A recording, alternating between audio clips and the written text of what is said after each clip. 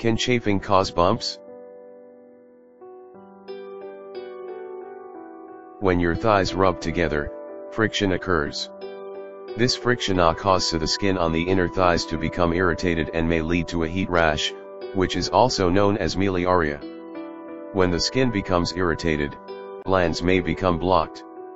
These ah cause red, white, or pink raised bumps to occur.